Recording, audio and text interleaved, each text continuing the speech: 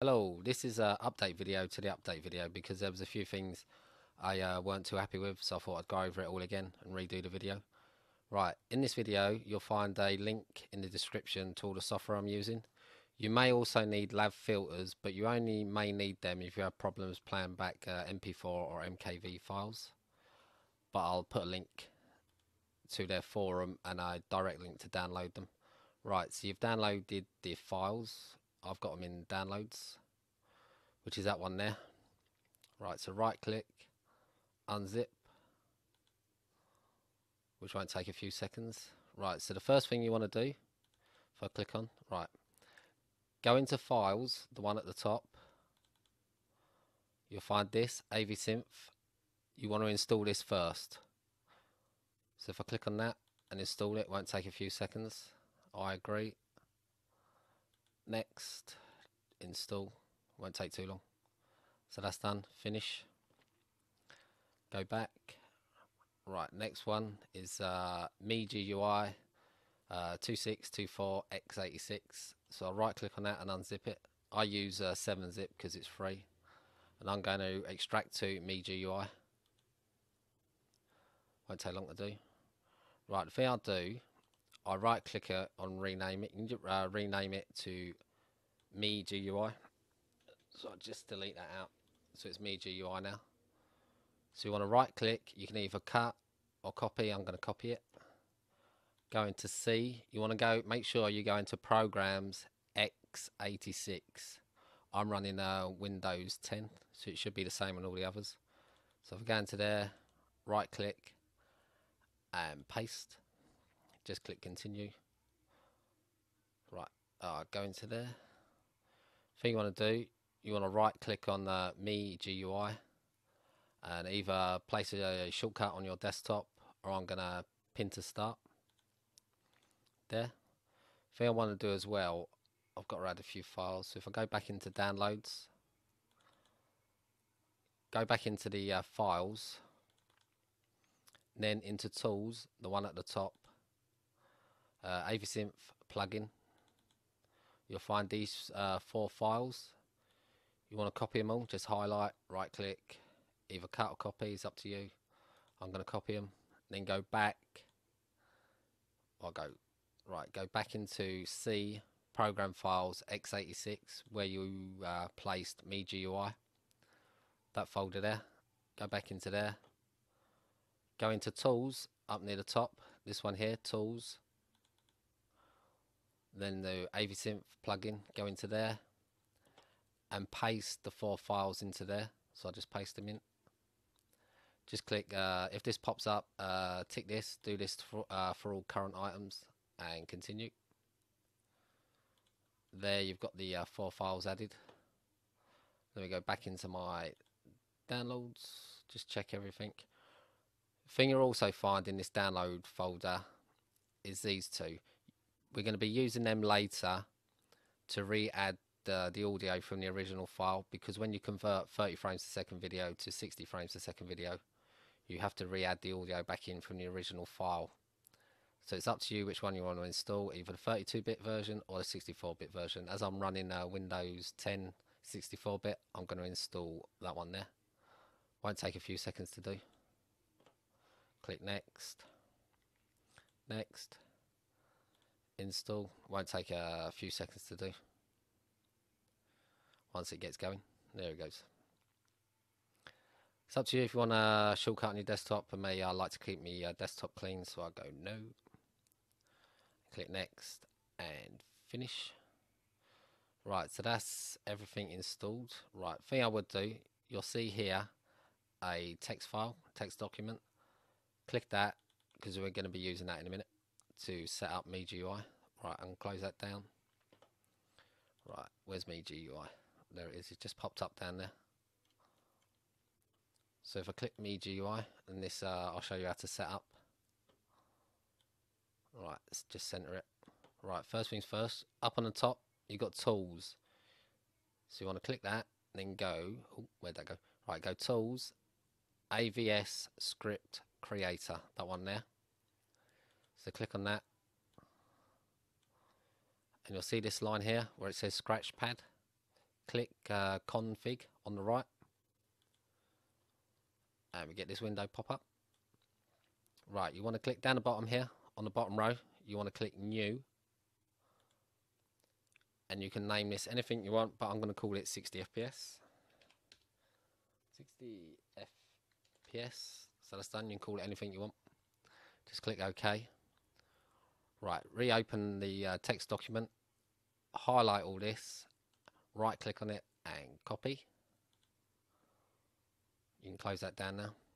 You can either just highlight over the top and paste over the top or delete and just paste over the top. You just want to place it in there. Then click update and OK. There are extra setup, the extra setup tab, but I've found you don't really need to use any of these or change any of them so I've just left them as they are. I don't seem to have any problems for not well not changing anything. So I've left them as they are. Just click update and OK. So that's done. I'll just shut that down. Thing I always do, I tweak the X64 settings. So on the right hand here, you'll see uh, config. I do this to just get a bit of extra quality in my videos. Right, where it says quality, you can drop this down. It does give you a description that pops up telling you about the settings. I normally drop it down to about 18. And plus, I move the slider over to slower. You can go, where are they? Next one, oh, where's it? it jumps about. You can go right over to the right to placebo, but it will take forever to encode. Well, the next one is very slow, but I always stick to slower. I set quality to 18 and preset to slower. I don't change anything else. And just click update and OK. Now that's everything done in uh, for well for me GUI or me GUI. So the thing I'll do now, I'll go over how I run it for the first time because you haven't got to do any of that again. It's all set up, ready to go. So if I close that down, and let's do a first run. So right, so I click Me GUI, go Tools, AVS Script Creator, which we did earlier. So all you want to do now is video input on the top there.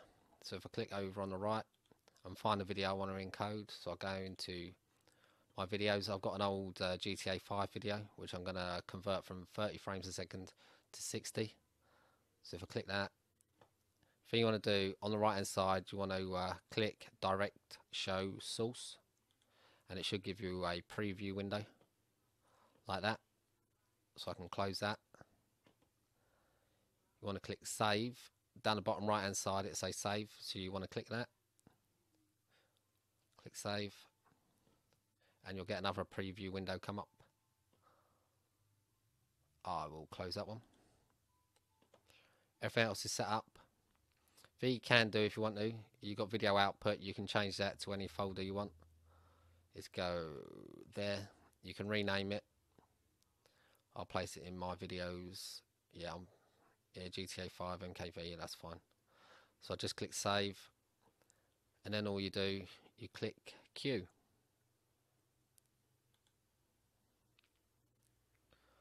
All it's doing now is just uh, downloading an update to X64 and plus uh, right by the very end where it's been converting it will download an MKV file update which only takes a few seconds to do.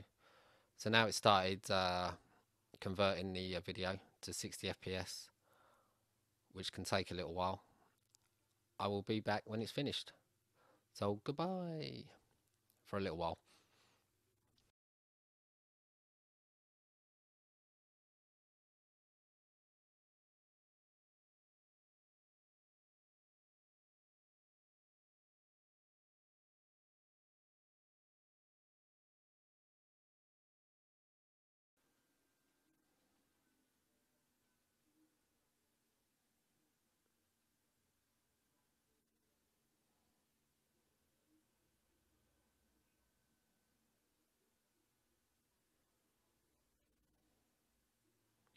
Right, back again, and that's all done. I must admit, I could have used a shorter clip, but that's the only uh, file I had, so I used that one. Right, that's all done now, so we can close uh, MeGUI or MeGUI. I'll close that down. and now go back into my videos uh, this one here is the original which is uh, 29 frames a second which is uh, just under 30 but Windows classes it as a 29 frames a second video and this is one that's been converted if I go into properties. It's uh, 59 frames a second. The thing I'll do I'll just play a little bit of it just to check. As you can see there's no audio but I'll show you in a second how you add the audio from the original file into the converted file. It's just me uh, flying around in the uh, Hydra around San Andreas and it's now a nice lovely and smooth 60 frames a second. Because if you play on the PS4 or the Xbox One uh, GTA 5 only runs at 30 frames a second. Right I'll just close that down. I'll just minimize it out. And now I'll show you how to uh, re-add the audio. Right earlier on uh, you uh, installed MKVToolNix so if you uh, start that up the thing you want to do is take the original video the 30 frames a second one and you'll notice the top one here is the video so you don't want that. Uh, my uh, capture device captures four separate audio channels. I only want the first one so I'm going to untick them. I just want that one. And the thing you do now is drag in the 60 frames a second video this little box will pop up all you want to do is click OK. So now you've got the audio from the original video and the video from the converted. So all you want to do down here on the bottom row you've got start mixing. So all you want to do is click start. And it'll give you only takes a few seconds to do. And that's done. You can close that so now we should have a uh, video with the audio as well.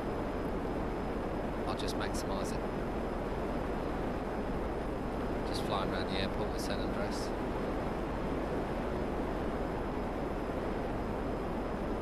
So I hope this video's helped and uh, goodbye.